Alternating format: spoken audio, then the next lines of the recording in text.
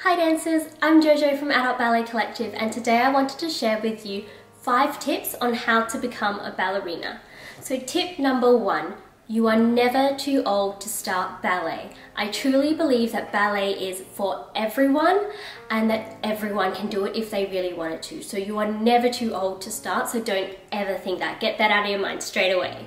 Tip number two, find a ballet studio and a teacher that matches your dance goals and where you want to go in your ballet journey. It might not necessarily be the first studio that you walk into, so you'll need to find a studio and a teacher that you can trust and that's going to enhance your ballet journey and help you all along the way.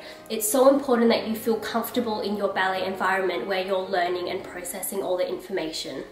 Tip number three, so ballet gear that you might need. So this is not necessary. I know that a lot of beginner classes allow their students to just wear socks or go bare feet, but you might want some ballet flats so that you can feel the part. These are just some canvas ones. You can of course get some leather and then you can talk about having split soles or full soles. Go to a dance store, get fitted, talk to the professionals about it and find what works for you. Additionally, you might want some tights so you can go full bun head, a leotard, and a skirt, or shorts, whatever floats your boat. Seriously, as long as you are comfortable in what you're dancing in, that is the most important thing. Sometimes I feel like going full ballerina, but sometimes I also feel like just wearing leggings and a sweatshirt to class. So it doesn't matter as long as you're comfortable. So tip number four, do not compare yourself to anyone. So I mean anyone on social media, anyone in your class, just do not compare yourself to anyone because we all come to ballet with different life experiences, so we learn at different paces.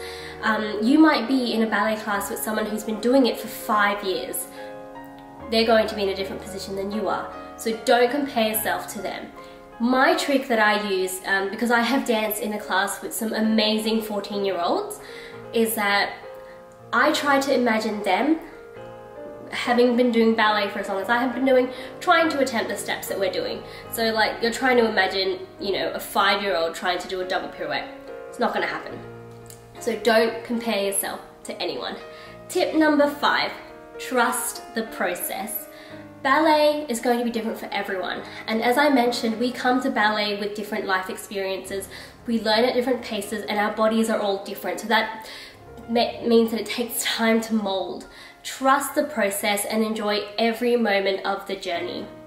I hope you enjoyed this video. Thank you so much for watching. Bye!